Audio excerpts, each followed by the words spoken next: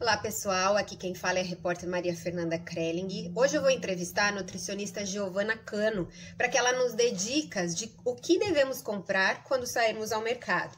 Alimentos que sejam que tenham uma qualidade nutricional positiva para que a imunidade não caia e que tenham longa durabilidade. Giovana, quais são os alimentos indispensáveis nessa época? Pessoal, a nossa ida ao mercado ela deve ser funcional. Não adianta ficar estocando um monte de comida ou comprar comida que vai estragar rápido. Quando a gente pensa nos perecíveis, nas frutas, nas verduras e nos legumes, a gente vai tentar comprar coisas que dê pra gente congelar também. Então, pensando nas frutas, para congelar, a banana e a manga são super interessantes, depois a gente consegue fazer vitaminas com ela.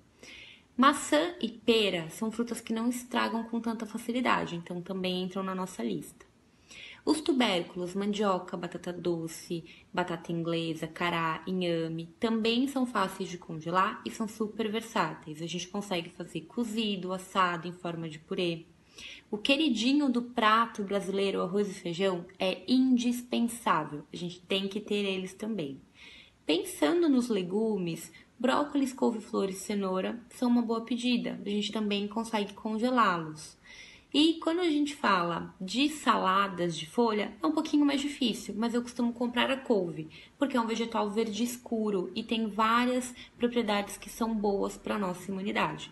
Dá para congelar, depois fazer uma vitamina ou fazer um suco. E para gente finalizar, as proteínas de origem animal, como o ovo, que é super versátil, frango, peixe ou carne vermelha, também é passível de congelamento. Então são interessantes porque a gente sempre vai ter ali a nossa mão quando precisarmos. Giovana, e sobre os alimentos que são consumidos crus? Existe uma dúvida: tirar ou não tirar a casca das frutas? Em relação a descascar as frutas, não há necessidade, desde que você faça a higienização de maneira adequada. Porém, não adianta nada você não higienizar de maneira adequada e tirar a casca. O risco de contaminação, ele continua ali. Imagina que as frutas, elas são manuseadas o tempo inteiro, seja nas feiras, seja nos mercados, assim como as verduras e os legumes. Então é muito importante que essa higienização seja feita de maneira adequada. E a questão da higienização, qual a maneira mais adequada para eliminar qualquer risco?